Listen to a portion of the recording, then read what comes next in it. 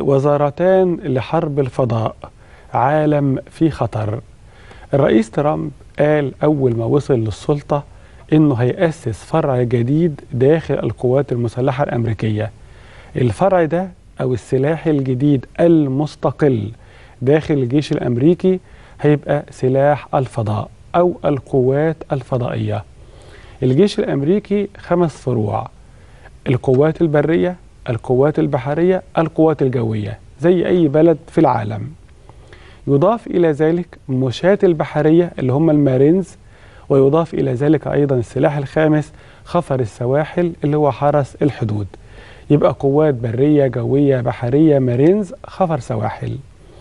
أضاف الرئيس ترامب إليهم لأول مرة في تاريخ الجيش الأمريكي القوات الفضائية.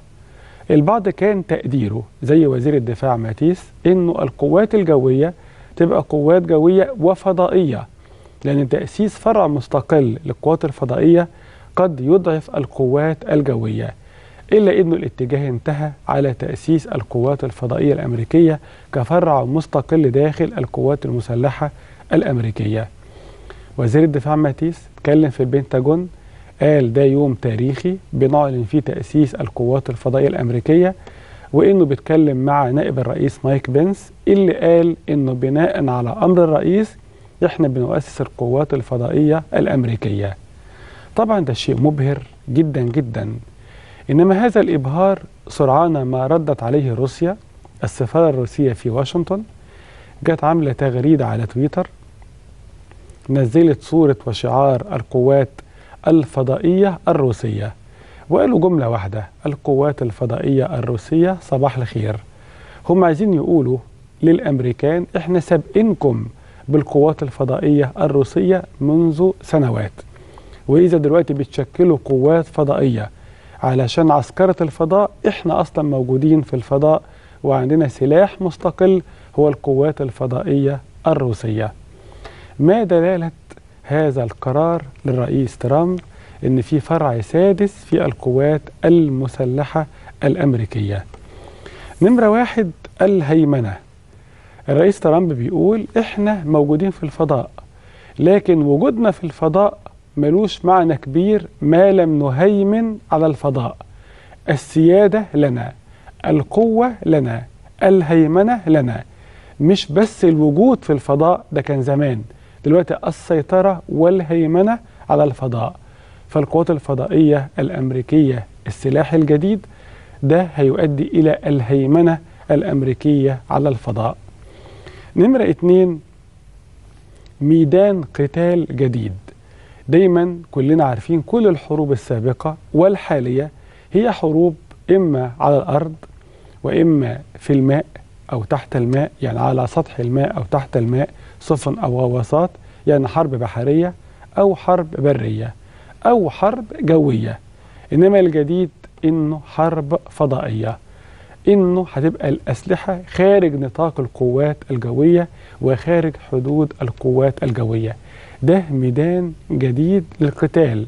وزير الدفاع ماتيس قال إنه ده ميدان جديد للقتال عشان كده عملنا قيادة قتالية جديدة لهذه الساحة الجديدة للمعارك العسكرية القادمة. نمرة ثلاثة ده جزء من سباق الفضاء سلما وأيضا من الناحية العسكرية يعني السباق السلمي والسباق العسكري. لأنه حتى السباق السلمي الأمريكان بقى لهم عقود طويلة ما رجعوش القمر مرة تانية.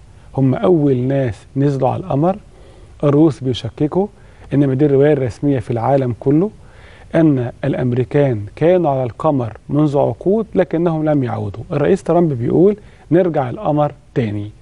ودلوقتي تبقى في رحلة مأهولة يعني فيها بشر فيها رواد فضاء هيروحوا القمر.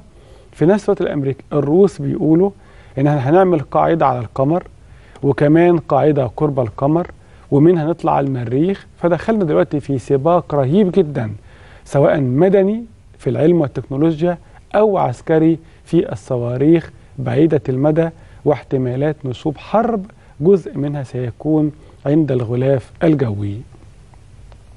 والنقطة الأخيرة الإيديولوجيا اللي بيعتنقها الرئيس ترامب في هذا الصدد أو العقيدة العسكرية للرئيس ترامب إنه في جزئين أساسيين في أي حرب قادمة. أي حرب قادمة فيها حرب إلكترونية دي اللي هتحسم وحرب فضائية دي اللي هتحسم إنما بقى المعارك الأخرى مش حاسمة.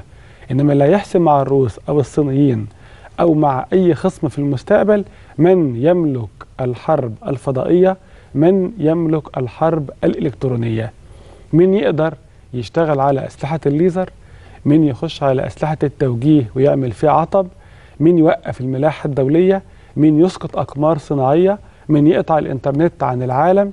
مين يقدر يشوش على كل الأهداف الذي سينتصر في الحرب الإلكترونية الذي سينتصر في الحرب الفضائية هو من ينتصر في الحرب العالمية القادمة.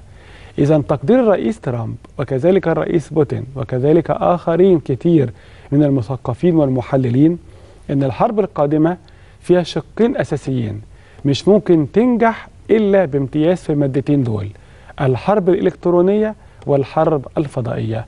وقد بدأت أمريكا سلاحا مستقلا للحرب الفضائية وسبقتها روسيا. وبين الاثنتان حرب إلكترونية يتابعها العالم عن كثب منذ قليل أو كثير.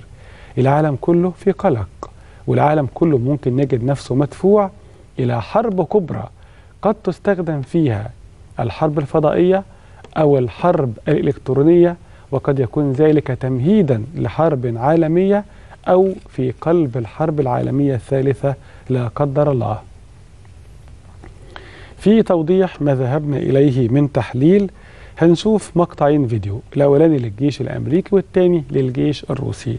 المقطع الأول للجيش الأمريكي بيختبر قدرة ترسانة نووية فيها صاروخ عابر للقارات قادر على دخول حرب فضائية. ده كان مقطع من أمريكا المقطع التالي من روسيا من كابين الطيار مشهد تدريبات على حرب فضائية.